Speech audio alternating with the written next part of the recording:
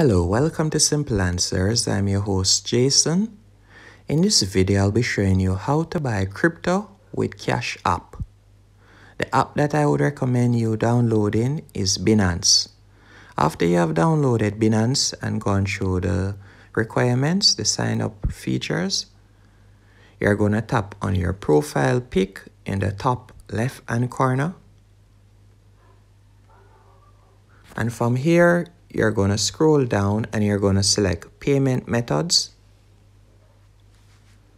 Then you're going to select P2P payment methods. Then tap on add a new payment method. And in the search bar, you're going to type in Cash App. You can see it right here, the third option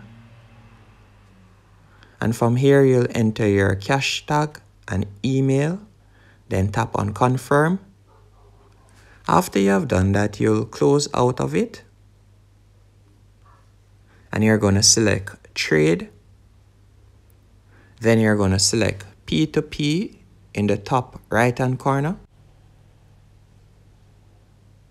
And right where you see payment it's in the second line in the bottom right here in the left hand corner right beside amount you're going to scroll through and you're going to search for cash app. Here it is. And then here you can see the seller that is accepting cash app at the moment. There's normally a lot more options but just at this time there's only one seller available that accepts cash app. And you'll simply tap on it and here you'll be able to see his feedback.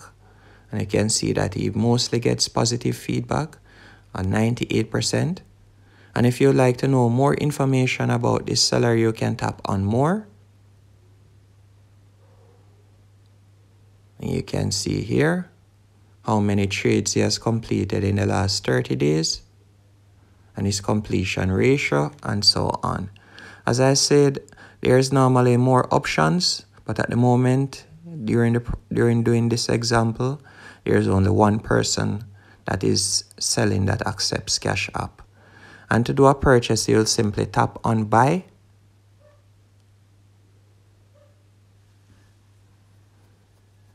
and his limit is a bit high compared to the rest. As you can see the minimum that he sells is what $200 worth?